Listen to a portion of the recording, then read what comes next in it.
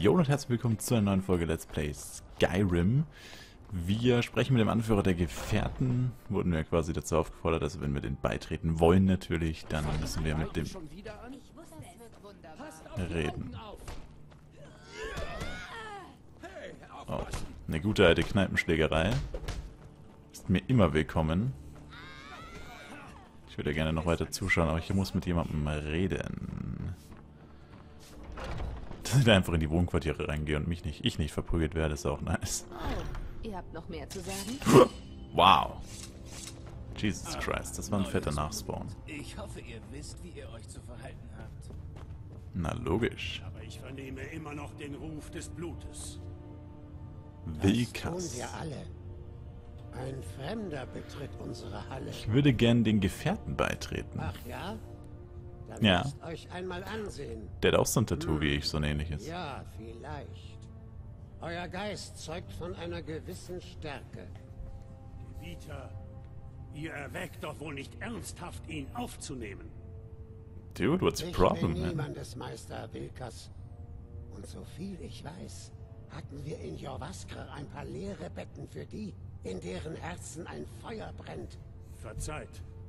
Aber vielleicht ist dies nicht der richtige Augenblick. Ich habe noch nie von diesem Fremdling gehört.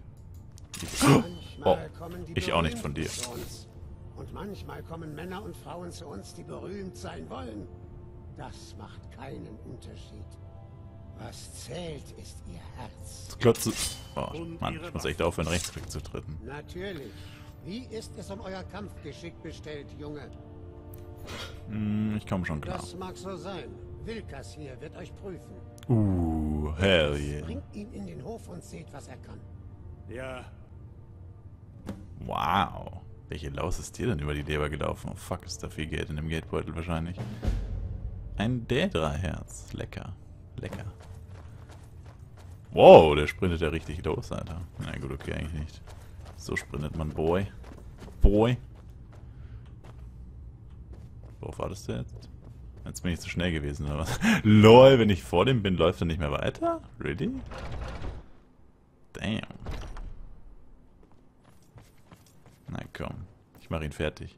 Ich töte ihn einfach aus Versehen, dann haben wir das Problem nicht mehr, dass er so pissig ist. Kappa. So, ist die Frage, ob ich jetzt auch Magie einsetzen darf. Oder was der jetzt genau von mir will. der Alte hat gesagt, ich solle euch mal in Augenschein nehmen. Dann wollen wir mal. Geht ein paar Mal auf mich los, damit ich sehe, wie es um eure Form bestellt ist. Keine Angst, ich werd's verkraften.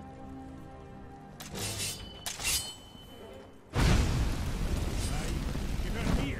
Was glaubt, was glaubt ihr, wo ihr hier seid? Und nicht schlecht. Ah, Nächstes Mal mache ich's euch nicht so leicht. was? Ich kann meine Waffe nicht ziehen. Oh, Nächstes Mal mache ich's euch nicht so leicht. naja. Ihr könntet es schaffen. Aber in unseren Augen seid ihr immer noch ein Frischling. Also tut Ich jetzt hab ja auch noch nichts gemacht. Hier ist mein Schwert. Bringt es zu Eolund und lasst es bei ihm schärfen. Ah, Und ich dachte, er schenkt es uns. es ist Stimmt. mehr wert als ihr. Ja, what? Shots fired. Gib Erlund Wilkas Was Schwert. ist Warum, warum ist da jetzt ein Pfeil? Ach, der da oben zu dem. Ja, ich muss eh noch zum Schmied oder so. Weil wir haben ein paar Sachen gedroppt. Also ich habe ein paar doppelte Sachen. Ich habe zwei Schwerter, zwei Bögen und so. Das muss man alles noch verkaufen. Das geht am besten beim Schmied tatsächlich. Ich weiß es nicht, der Schmied, der, zu, dem, dem wir, zu dem wir jetzt gehen, der, bei dem kann man glaube ich nichts verkaufen. Äh, hier. Da oben. Stimmt, da ist ja auch so ein Typ, genau. Ja. Das ist eine geile Schmiede, Alter. Das ist mal. Wow. Das ist chillig. Was führt euch her? Wilkas hat mich mit seinem Schwert geschickt. der Neue hier. Schickt. Ich führe nur aus, worum ich gebeten wurde. Würdet ihr es weit bringen. Wäret ihr ein spießiger Händler oder der Lakai eines Jarl. Hier bei uns müsst ihr lernen, euer eigenes Leben zu leben. Denkt daran. Bei Damn. den Gefährten machen wir einander keine Vorschriften. Aber irgendjemand Nun, muss ich da die Führung nicht übernehmen. Aber sie scheinen ohne auszukommen. Es gab seit Iskramor keine Anführer mehr. Kotlak ist der Herold. Er ist eine Art Berater für die ganze Gruppe. Aber jeder Mann kämpft für sich selbst. Und auch jede Frau. Ah, okay. Ich gehöre nicht zu den Gefährten, aber von denen versteht niemand etwas vom Schmiedehandwerk. Und es ist mir eine Ehre, ihnen zu dienen. Mein Name ist Eolund Graumähne. Ich leite die Himmelsschmiede. Bester Stahl Die von ganz Himmelsschmiede, Himmelsland. Ach was. Von ganz Tamriel. Ich muss gehen. Ich möchte euch um einen Gefallen bitten. Oh. Was ist denn los? Ich habe an einem Schild für Ayela gearbeitet. Meine Frau trauert und ich sollte jetzt bei ihr sein. Ich wäre euch daher dankbar, wenn ihr diesen Schild für mich zu Ayela bringen könntet. Na klar. Ich helfe euch gern. Meine Frau trauert und ich sollte jetzt bei ihr sein. Ich wäre euch daher dankbar, wenn ihr diesen Schild für mich zu Ayela bringen könntet. Danke. Muss es nicht zweimal sagen. So. Jetzt müssen wir dann nochmal rein, oder was? Ich hätte gern mal ein Schild dieser mir mal eine Waffe geben, Alter. Jetzt müssen wir schon wieder da runter. Über die Barrikaden.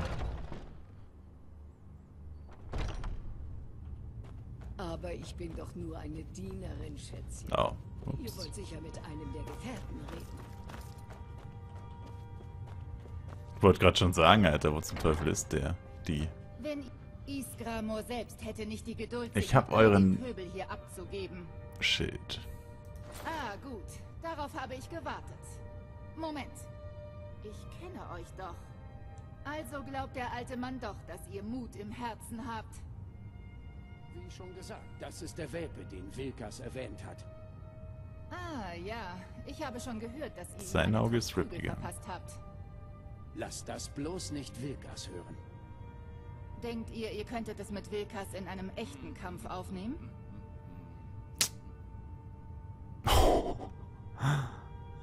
Ich halte nichts von Paderei. Ah, ein Mann der Tat. Hier, Farkas zeigt euch, wo ihr euch ausruhen könnt. Farkas! Habt ihr mich gerufen? Natürlich haben wir das Eishirn. Zeigt diesem Jungblut, wo die anderen Welpen schlafen. Why so mad, dude? Oh, ich erinnere mich an euch. Kommt mit. Haben die alle zugeschaut oder was? Folge Farkas zu deinem Quartier. Ich will so nicht schlafen gehen. und Ayela ziehen mich gerne auf, aber es sind gute Leute. Sie fordern uns zu Bestleistung heraus. Schön, zu sehen. Es wird hier manchmal langweilig. Ich hoffe, ihr bleibt. Kann ich mir jetzt eigentlich die Sachen hier gratis nehmen? Nein. Hier sind die Quartiere. Bin anscheinend noch kein vollwertiges Mitglied. Aus und legt euch hin, wenn ihr müde seid. Tilma hält alles sauber. Das hat sie schon immer getan. So, da seid ihr also. Die anderen sind schon ganz gespannt auf euch. Sprecht mit mir oder Ayela, wenn ihr arbeiten wollt. Wenn ihr euch einen Namen gemacht habt, könnt ihr Aufträge von Skjor und Wilkas erhalten. Viel Glück. Willkommen bei den Gefährten. Oh, ich glaube, wir nehmen gleich mal einen Auftrag an, oder? Wenn ihr nach einer Beschäftigung sucht, Na, mind. wir haben Probleme hier im Fürstentum Weißlauf. Nichts Weltbewegendes. Mit welchen Problemen muss ich rechnen? Nur ein Haufen kleiner Banditen. Feiglinge, bei denen ihr euch nicht anstrengen müsst. Hell yeah, ich kümmere mich darum. Ausgezeichnet. Zeigt keine Gnade. Übrigens, Hell wenn ihr nach yeah. einer Beschäftigung sucht, Ja, ja, ich weiß. Mit dir oder Aeda reden. Tötet den Anführer, Anführer von Redorans Zuflucht. Das klingt doch nach einem niceen Auftrag, aber warum mit mir der Pfeil? Warte mal. Äh, Weltkarte L. Ups. Na, das wollte ich jetzt nicht machen. Geht jetzt nicht mehr weg. RIP. Ähm, entfernen. Genau. Ach, wie kann ich ihn so rumschauen? Ah, so. Okay. Ach, da ist es ja Leuch. Blindfisch, Alter. What the fuck? Ja, genau. Hier kann man nicht schnell reisen. Na gut. Dann gehen wir mal dahin. So reist man übrigens schnell. Einfach auf die äh, Orte auf der Karte klicken und dann kann man da schnell hinreisen, damit man nicht den weiten Weg nochmal laufen muss. Weil die Map ist schon echt riesig in Skyrim, die Welt. Also was heißt riesig? Ich meine, sie ist überschaubar. Aber ja, ist schon ganz schön groß. Also wenn man da einmal vom einen ins anderen läuft, ist man schon mal gut 15, 20 Minuten mindestens unterwegs. Mit Sprinten und so. Jupp. Ich bin jetzt einer von den großen Jungs. Von 8 Uhr morgens bis 8. Ah, Leute, die Läden. Aber jetzt ist mitten in der Nacht, jetzt müssten wir theoretisch warten. Warte mal. Stimmt, ich wollte noch verkaufen. Jetzt hätte ich es beinahe vergessen. Danke, Ladescreen. So, hier ist rechts kann man ganz gut verkaufen. Und das ist jetzt wahrscheinlich zu spät, genau. Das heißt, wir warten mal schnell 8 Stunden. Das finde ich ziemlich cool, die Funktion. Damit man dann eben die Läden besuchen kann. Zur Uhrzeit, wenn sie auch offen haben. So. Ah, genau. Ich habe hier einige gute Stücke, wenn ihr etwas Was habt ihr zu verkaufen? Die besten Waffen und Rüstungen. Ah, wir können uns mal anschauen, was ihr zu verkaufen hat tatsächlich. Wie viel Gold haben wir? 338. Das ist nicht wirklich viel. Na gut. Hat jetzt nicht wirklich so viel. Ähm, wir verkaufen den Eisenkriegshammer. Wir verkaufen die beiden Eisenschwerter. Einen Langbogen. Die schwere Rüstung. Die... Moment. Ja, ist genau das gleiche, ne? Ja, die ist sogar mehr wert. Da verkaufen wir auf jeden Fall die. Einen Eisenschild, die Handschuhe, den Pelzschild. Den Bärenpelz können wir verkaufen. Den Wolfspelz können wir verkaufen. Die Eisenerz verkaufen wir auch. Eisenbarren heben wir auf. Jetzt haben wir 592 Gold. Nice. nicht auch drinnen reinzuschauen, falls ihr etwas braucht. Allerdings ist das ziemlich wenig Gold, nur so als Randinfo. Das wissen die meisten wahrscheinlich eh. Schwerter schwingen schneller als Äxte. Nice, das kann ich nicht mehr lesen, den Tipp. So, dann machen wir uns mal auf, auf und davon. Huh. Und töten den Anführer der Räuber in Redorans Zuflucht.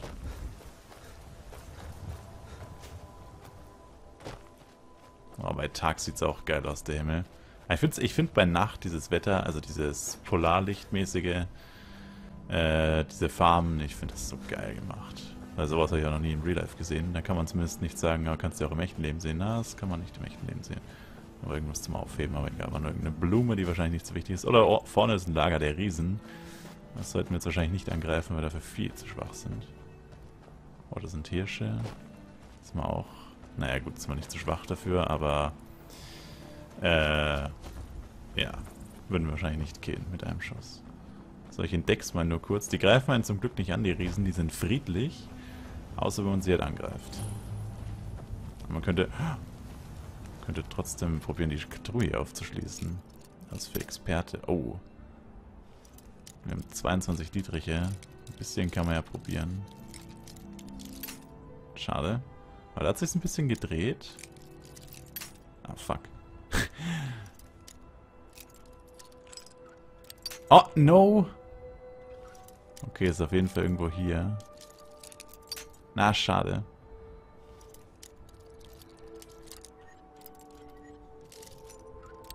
Oh, fuck. Ey, das gibt's nicht.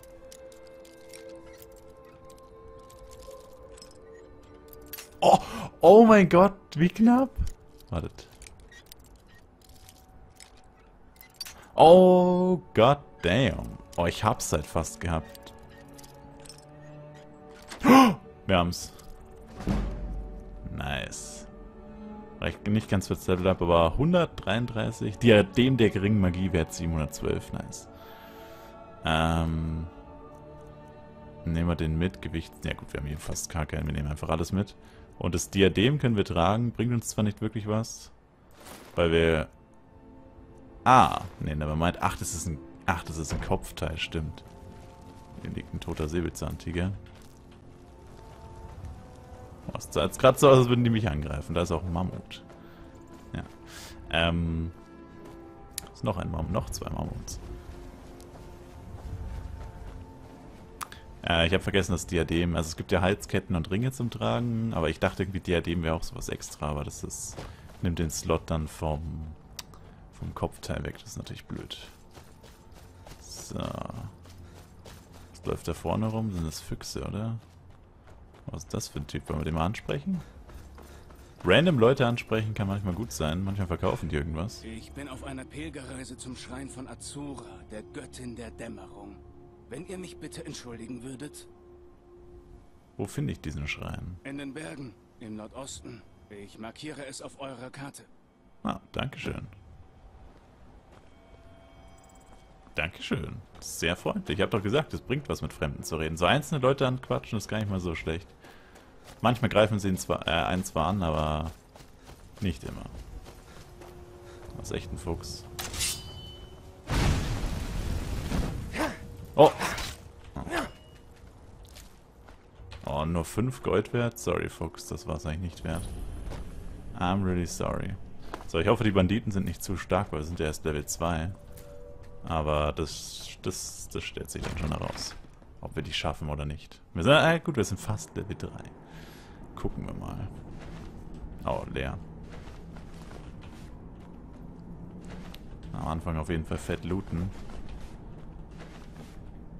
Na, mit R kann man auch alles nehmen. Soll ich vielleicht öfter benutzen bei so vielen Sachen. Oh.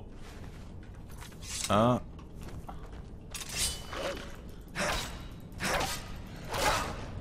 Verdammt nochmal, Alter. Ich dachte mir schon, hey, als ob mich da jetzt so jemand so schnell gesehen hat, aber offensichtlich schon. Oh.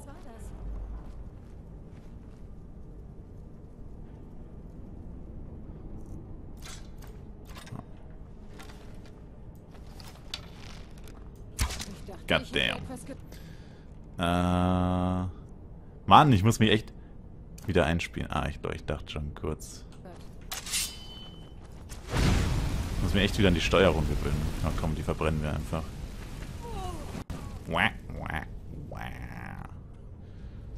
Okay, das mit Magie ist schon cool, aber unser Aussehen, Alter, wir brauchen unbedingt eine andere Rüstung. Wir sehen so scheiße aus als Kaiserlicher. Hä, was? Keine Ahnung, wo da ein Gegner ist. Aber wahrscheinlich hinter der Wand da. Also hinter der Abzweigung. Oh, doch niemand hier. Nice. Ne gut, okay. Alles müssen wir echt nicht looten. Aber Nahrung nehme ich tatsächlich jetzt erstmal alles mit. Dann brauchen wir keine Zaubertränke, wenn es mal brenzlig wird. Oh, Gold. Nice. Noch eine Truhe zum Aufsperren. Tatsächlich level ich durch Schlossknacken, Schlösserknacken echt extrem meistens. Uh, hier sind noch ziemlich wertvolle Sachen drin gewesen. Die nehmen wir auch mal mit. Können wir alles verkaufen. Durch Schlösserknacken levelt man echt krass. Also ohne Scheiß. Zumindest wenn man es häufig macht und halt auch häufig Erfolg hat. Aber allein schon, wenn man Dietriche fällt, levelt man halt auch. Was halt echt... Eigentlich ist voll komisch, aber... Oh, steh doch auf!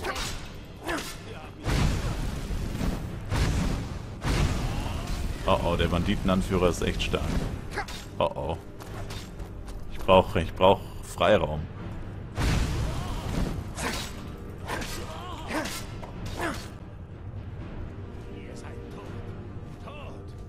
Mein Magiker muss ich auffüllen. Ah, Moment. Ich kann ein Level-Up machen, mitten im Kampf. Das ist Cheating. Wir erhöhen auf jeden Fall unsere Gesundheit, wenn sind wir wieder voll, glaube ich. Ja, perfekt.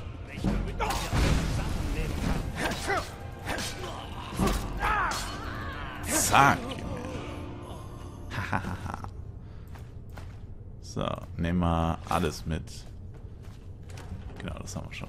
Perfekt. Gut, war keine schwierige Mission. Das ist sehr gut. Das nehmen wir auch alles mit. Und dann müsste es wahrscheinlich noch eine Truhe geben. Weil es gab ja schon eine Truhe, vielleicht gibt es auch tatsächlich keine mehr. Ah, Waffe können wir wieder wegstecken. Oh, Schleichen verbessert, nice. Was ist das Buch wert? Oh, das Buch ist 75 wert, das können wir mitnehmen. Das ist nicht schlecht. Ah, nein, nicht Bratspieß benutzen. Nein, ich will jetzt nichts kochen. Nein, danke, ich will jetzt, ich will jetzt nichts kochen. Also eigentlich habe ich schon Hunger, aber nicht in-game. Oh, eine Truhe, habe ich doch gesagt. Jeder Dungeon hat immer eine Truhe. Oh, eine Schatzkarte. Oh, eine Schatzkarte. Und wir haben ganz schön viel Zauberer-Sachen gefunden. Das ist auch nicht schlecht. Ah, Leute, das waren nur die Knochen. Ähm, wir können mal kurz gucken. Objekte, Bücher, Schatzkarte.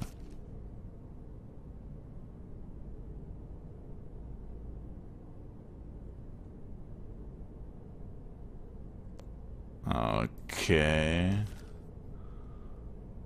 Irgendwas mit einer Mühle und dahinter ein Berg hoch. Aber ist die Frage, welche Mühle? Ähm, Und dann Bekleidung, genau, wir haben ziemlich viel Magierzeug gefunden. Widerstandszauber kosten 12% weniger Mager, äh, Magika. Und Novizenrobe der Beschwörung war es, glaube ich, oder? Ja. Hm. Oh, das ist gut. Wiederherstellungszauber kosten 15% weniger Magika. Das ist Heilen. Und warte mal, wie viel weniger hat der Helm als der? Ja, der hat nur eine Rüstung weniger, aber dafür kostet unsere Heilung. Haben wir zwar bis jetzt noch nicht benutzt, aber wartet. Das sieht dann so aus. Oh, so sieht das dann aus. Ähm, kostet weniger Magika, das heißt, wir können uns quasi länger heilen. Was schon ziemlich cool ist eigentlich. Ja, das ist cool. Das ist ein cooler Helm. Sowas meinte ich jetzt, sowas will ich dann komplettes Equip haben. Leichte Rüstung, damit man trotzdem noch was aushält. Aber trotzdem halt irgendwie Effekte für Zauber, wenn wir halt so halb Zauber, halb Kämpfer spielen. Ich glaube, das ist eine ganz gute Kombi. Kombi. So, dann können wir jetzt schnell reisen zurück, sonst müssen wir das nochmal laufen. Gehen wir vor die Drachenfeste. Und dann geben wir den Auftrag ab. Mal schauen, was die Belohnung ist. Hoffentlich 500 Gold oder so. Gierig, ich weiß. So, Freestyle Climbing. No, ich bin ins Wasser gefallen.